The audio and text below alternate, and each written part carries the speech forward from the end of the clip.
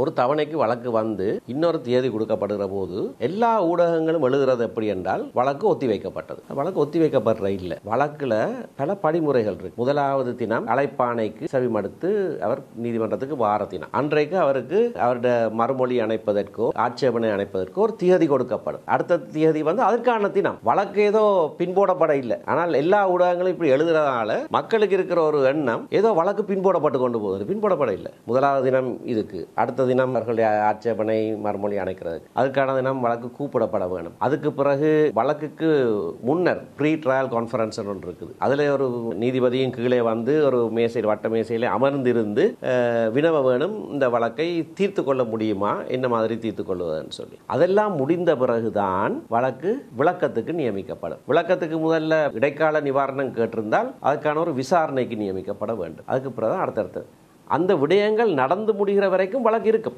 சரியாக நடந்து முடிந்ததா பிறகுதான் தீர்ப்பு என்று ஒன்று இருக்குது தீர்வை என்று ஒன்று இருக்குது. தீர்வை முழுமை பெற்றது என்று நீதிமன்றத்தில் நாங்கள் ஒரு ஆவணத்தை சமர்ப்பிக்க வேண்டும்.